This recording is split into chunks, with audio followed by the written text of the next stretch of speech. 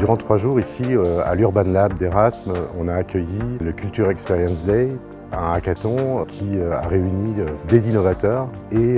des structures qui viennent accompagner des ressources pour créer un projet. De quelque part, de son,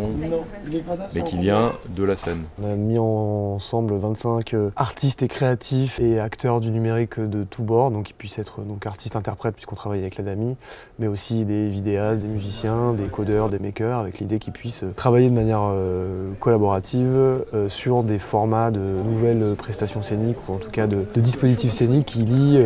artistes-interprètes et outils technologiques.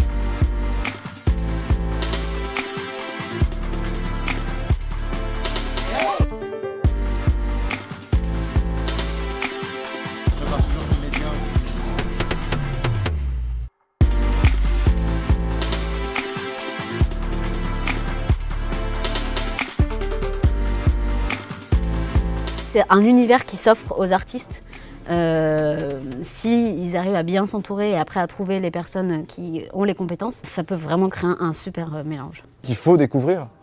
En fait, sinon, on ne peut pas ouvrir l'imaginaire, en fait, parce que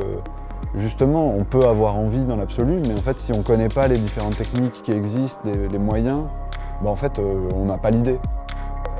rejoignez les Culture Experience Day, si je puis dire, rejoignez des lieux de, créativité comme l'Urban Lab, parce que ce sont des lieux des possibles. Et c'est dans les lieux des possibles qu'on réfléchit, qu'on invente et qu'on euh, démystifie aussi beaucoup le rapport qu'on peut avoir à la technologie.